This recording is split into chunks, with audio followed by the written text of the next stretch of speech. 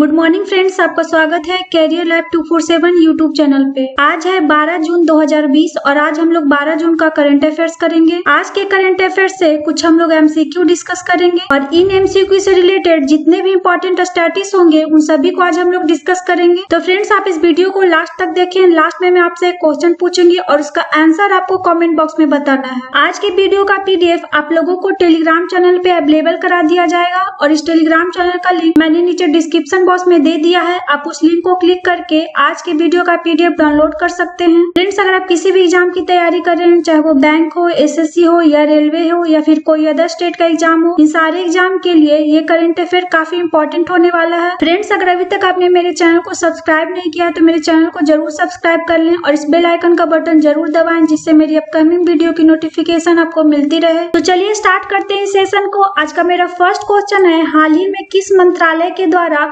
स्वतंत्रता सेनानियों के कल्याण के लिए एक नई समिति का गठन किया गया है। Recently which ministry has formed a new committee for the welfare of freedom fighters तो यह है गृह मंत्रालय तो इसका आंसर हो जाएगा डी अभी गृह मंत्रालय के द्वारा स्वतंत्रता सेनानियों के कल्याण के लिए एक नई समिति का गठन किया गया है। फ्रेंड्स ये न्यू कमिटी के अकॉर्डिंग जितने भी जीवित स्वतंत्रता सेनानी है या फिर उनके परिवार है, उनकी सेवा करने के लिए, उनके लिए एक अलग डिपार्टमेंट अवेलेबल कराया जाएगा। और ये जो न्यू समिति का गठन हुआ है, इसकी अध्यक्षता देश के गृह राज्य मंत्री के द्वारा किया गया है। और उनका नाम क्या है? जी किशन रेड्डी। क्या नाम है? जी, किशन रेड्डी। नेक्स्ट क्वेश्चन है, हाल ही में फिच रेटिंग्स ने अगले वित्त वर्ष में भारत की जीडीपी वृद्धि दर को कितना परसेंट रहने का अनुमान लगाया है? Recently Fitch ratings has estimated India GDP growth rate to be what percent in the next financial year तो यह है 9.5 परसेंट तो इसका आंसर हो जाएगा सी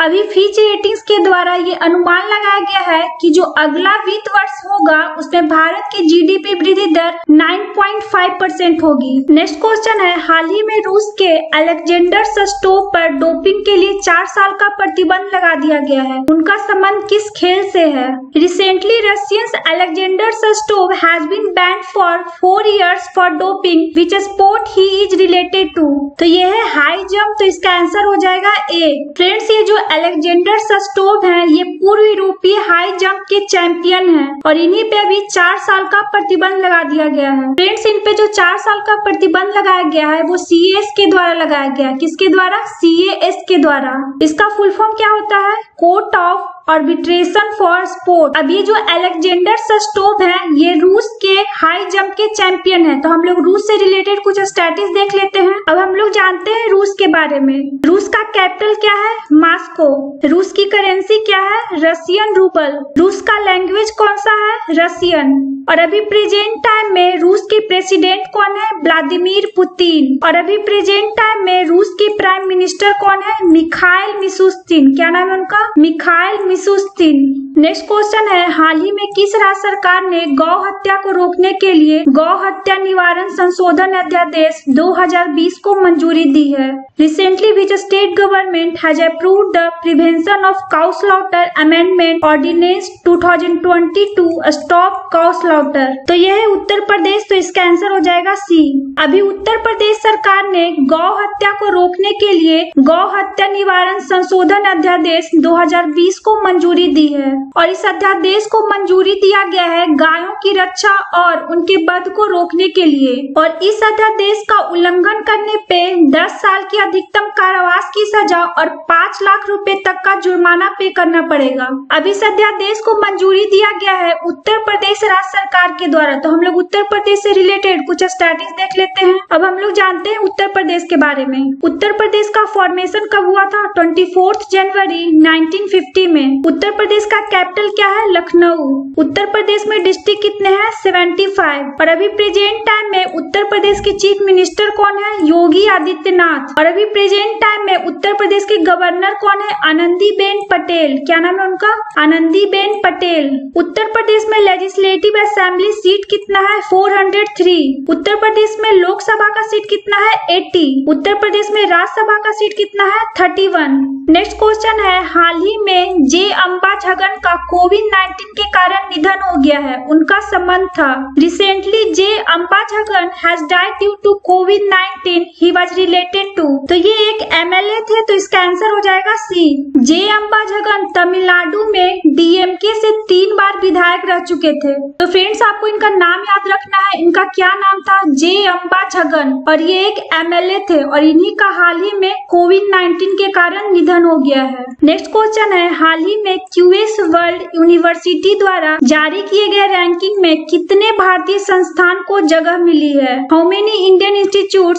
have got a place in the rankings released by QS World University recently तो ये है एट तो इसका आंसर हो जाएगा बी अभी क्यूएस वर्ल्ड यूनिवर्सिटी के द्वारा जो रैंकिंग जारी किया गया है, उसमें आठ भारतीय संस्थान को जगह मिला है। नेक्स्ट क्वेश्चन है, हाल ही में किस राज्य की सरकार राज्य के भूजल कमी वाले क्षेत्रों में एक हज़ार वाटर रिचार्ज बोर्ड का निर्माण करेगी। Recently which state government will build one thousand water recharge board in ground water deficient areas of the state तो ये है हरियाणा तो इसका आंसर हो जाएगा डी अभी हरियाणा राज्य का जितना भी भूजल कमी वाला क्षेत्र है, उन सभी क्षेत्रों में हरियाणा राज्य सरकार के द्वारा एक हज़ार वाटर रिचार्ज बोर्ड का निर्माण किया जाएगा, जिससे किसानों को खेती के दौरान सिंचाई की प्रॉब्लम से फेस नहीं करना पड़ेगा। और इस बोर के निर्माण में जो लागत आएगा, उसमें 90 परसेंट लागत सरकार के द्वारा वहन किया जाएगा और जो 10 परसेंट जो लागत रहेगा, वो इसका वहन किसान करेगी। अब इस बोर का निर्माण किया जाएगा हरियाणा राज्य सरकार के द्वारा। तो हम लोग हरियाणा से रिलेटेड कुछ स्टैटिस देख लेते हैं। अब हम लोग जानते हैं हरियाणा के बारे में। हरियाणा का फॉर्मेशन कब हुआ था? फ़र्स्ट नवंबर नाइनटीन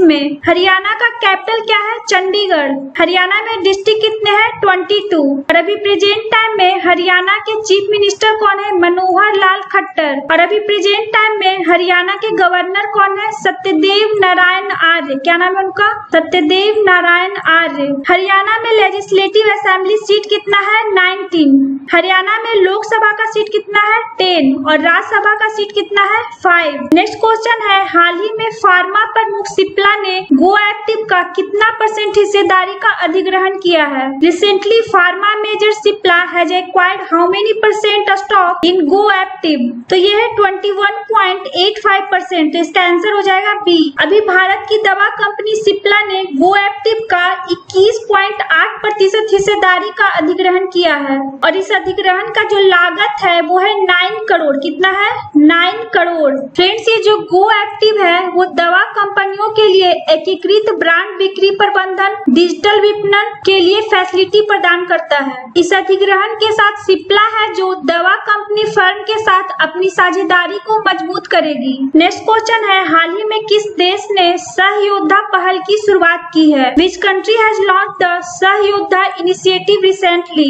तो यह है बांग्लादेश तो इसका आंसर हो जाएगा सी अभी बांग्लादेश के सूचना प्रौद्योगिकी मंत्री, जिनका नाम है जुनैद अहमद, उनके द्वारा इस पहल को शुरुआत किया गया है। और इस पहल का नाम क्या है? सहयोद्धा। इस पहल के अकॉर्डिंग जितने भी कोरोना संक्रमित लोग हैं, उनके इलाज के लिए प्लाज्मा है जो ऑनलाइन अवेलेबल होगा। अब इस पहल का शुरुआत किया गया है बांग्लादेश के द्वारा। तो हम लोग बांग्लादेश से रिलेटेड कुछ स्टैटिस देख लेते हैं। अब हम लोग जानते हैं बांग्लादेश के बारे में। बांग्लादेश का कैपिटल क्या है? ढाका। बांग्लादेश की करेंसी क्या है? टका। बांग्लादेश का लैंग्वेज कौन सा है? बंगाली। और अभी प्रेजेंट टाइम में बांग्लादेश के प्रेसिडेंट कौन है? अब्दुल हमीद। और अभी प्रेजेंट टाइम में बांग्लादेश के प्राइम मिनिस्टर कौन है? शेख हसीना। क्या नाम है उनका? शेख हसीना। नेक्स्ट क्वेश्चन है, हाल ही में किस राज्य ने एक जैव विविधता पार्क खोला है? Which state has recently open a biodiversity park तो यह है उत्तराखंड तो इसका आंसर हो जाएगा ए अभी उत्तराखंड राज्य ने एक जैव विविधता पार्क खोला है। फ्रेंड्स इस जैव विविधता पार्क को खोलने का उद्देश्य है राज्य की समृद्ध वनस्पति विरासत को संरक्षित करना।